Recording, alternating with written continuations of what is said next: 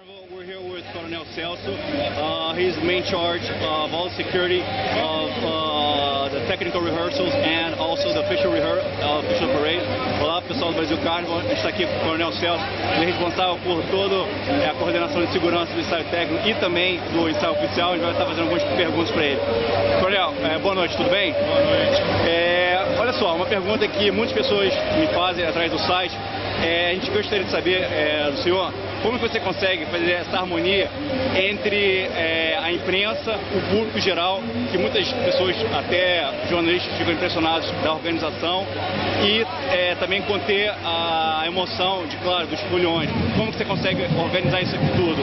Bom, é um trabalho árduo e um dos principais fatores é nós acharmos que somos copartícipes do evento. Perfeito. Eu não trabalho no evento, eu produzo e ajudo a produzir o maior espetáculo da Terra. Portanto, eu tenho que ser um elemento facilitador. Eu não posso ser é, a pessoa que vai efetivamente criar o problema. Eu resolvo os problemas. E eu procuro abordar as pessoas com extrema educação. Assim, as obrigo também a me tratar da mesma forma. Colonel saying that he's uh, not only in charge, but he's a co-participant of uh, this whole thing, uh, which is considered the biggest uh, show. Uh, called Maior Carnaval do Mundo, the biggest popular party on earth. So he treats everybody with education and respect. That's why he has his admiration.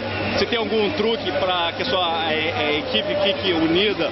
Que eu já conversei com vários é, das pessoas que trabalham com o senhor. Eu vejo que tem uma unidade, uma coesão muito, muito grande. Como que você consegue esse respeito é, entre todos os seus subordinados, vamos dizer assim? É, ao treinamento fazemos sempre em todos os eventos que participamos. Não é só do carnaval.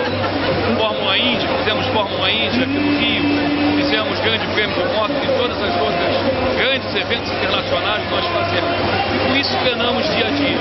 O respeito e a união que existe entre nós é que todos os outros, sem dúvida alguma, pensam exatamente como a mim. É um trabalho árduo, dia a dia, instrução que temos para cada qual. E aí eles entendem que também fazem parte do espetáculo. E as coisas saem efetivamente como a gente. Uh, he had a very good point. Uh, apart from the uh, the carnival, uh, he used to coordinate. He does coordinate uh, the uh, Indy Formula.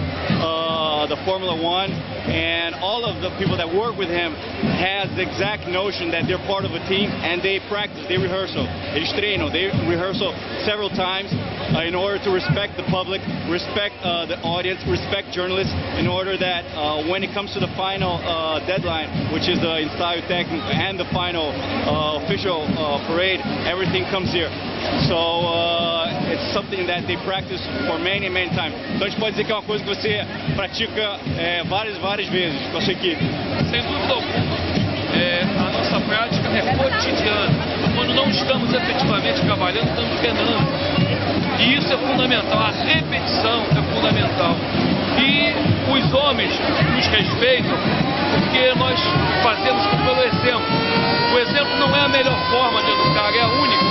E as pessoas me respeitam exatamente por isso. Uh, he was saying that uh, several, many, many, many times his success is the example, and the respect comes from the repetition of the education, from all the process that's done, not only with him, but all of his crew, with all of the security, the press, and the samba schools, e com as escolas de samba. A gente queria agradecer essa oportunidade única de estar entrevistando o senhor e dar os parabéns por essa maravilha que está sendo sua organização. Muito obrigado, sempre que precisar estamos às ordens e é um prazer ajudar. Ok, uh, he says he's very thankful, uh, parabéns e uma boa sorte, não só nesse ensaio técnico, mas no desfile oficial também.